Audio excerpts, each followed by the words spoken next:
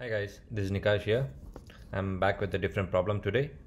So this is one of the important problem asked in Google interviews. So let's go over the problem first. The problem name is find first and last position of an element in sorted array. Okay, it's an LeetCode medium problem. So given an array of integers, nums sorted in ascending order, find the starting and ending position of a given target value. Okay, basically you have been given an array and a target. So you need to find what's the first position this target occurs in this array and then what's the last position this target occurs in this array.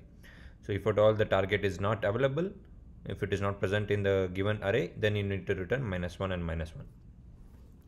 So basically this is nothing but a search problem. So you have to search for the target in the given array.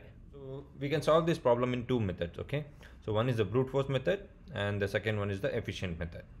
So the brute force method is nothing but for, for the first time you traverse the array from left to right okay and try to find the target. So as soon as you find the target that becomes the first position of the target. Then you need to traverse the same array again from last to first okay. This time you're traversing from right to left. So whenever you find that target that becomes the last position. So you break the loop and return the result. Let's uh, quickly code for that okay. So we need a variable first initially minus one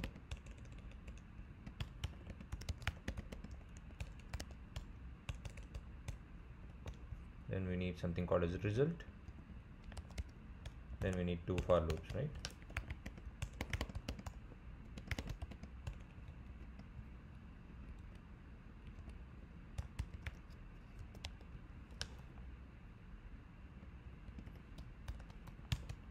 So we are traversing from left to right and if we find the target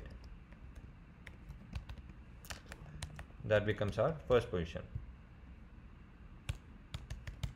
okay first is equal to i and we break the loop. So now after this we already have the first position. So now we need to repeat the loop from right to left to find the last position. Into nums dot size minus 1 and this should be we loop until it is greater than equal to 0 and we decrement if it is there then last becomes high and break. After this we store the result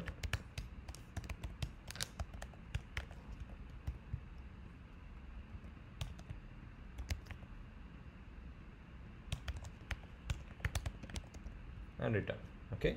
So we found the first and we found the last position.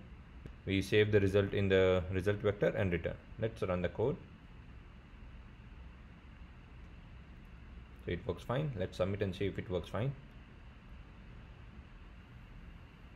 so it does work fine okay in this case time complexity is o of n okay so now let's see the second method in the second method we shall use binary search okay so we'll be running the binary search twice. So for the first time, we'll run the binary search with this condition and find the first index.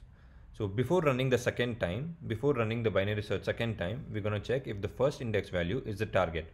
So if it is not the target, then it means we, we don't have the target in the given input. So at that time, we, got, we just return minus 1 and minus 1. Okay. So if we have the first index as the target, then only we repeat the binary search and try to find the last position. So once we find the last position, we return the result. Okay. So let's start writing the code for binary search solution.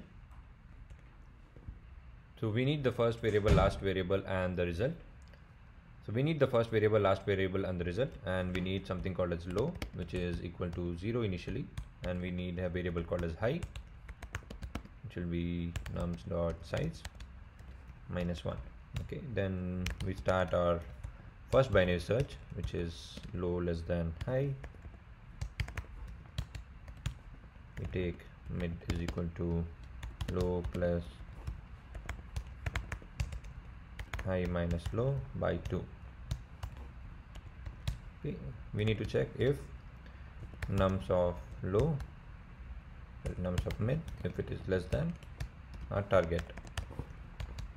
So what does that mean? So we have this array and we our mid is pointing here and but our target is something here. So we know there might be an element after in, in so we know that there might be an element between the mid and the target. So we assign our low is equal to mid plus 1 in the else case we just assign the high to mid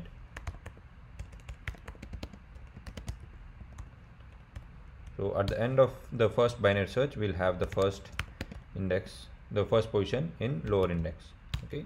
So before starting the second binary search as i said we need to check if the first position has the value as target or not. So we first do the boundary check. And we check if nums of low is equal to target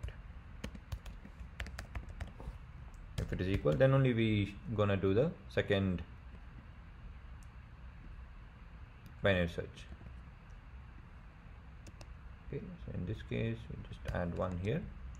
And then in this case we check if the nums of mid if it is greater than the target. So in that case we assign high is equal to mid minus 1 and low is equal to mid so after this we know that the last index will be stored in high so now we have found the first index and the last index. So we need to store the results in our vector.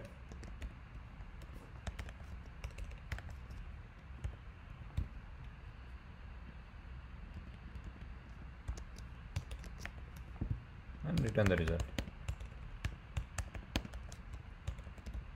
So in case this condition in in case the lower index value was not target then we need to return minus 1 right we just copy paste this and do minus 1 this is minus 1 as well. Let's correct the indentation. Okay let's uh, submit the code. Okay so this works fine.